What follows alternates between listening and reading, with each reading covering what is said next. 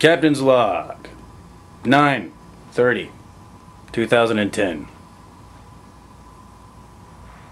I gave my 30 days notice.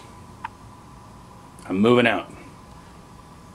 Moving out of Shazam Inc., home theater, my studio, my creative space for the last two years, my comfort zone. I'm giving it up. I'm going homeless in 30 days. I have 30 days to sell all this stuff, to get rid of it all. 30 days from now, I'll be living in my truck, working seven days a week to make 10 grand happen by Thanksgiving. I've got some other plans in motion on that as well.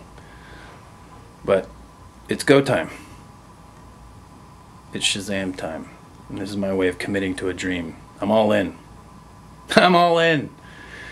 I'm sailing the seven seas. My next home is the SS Shazam time.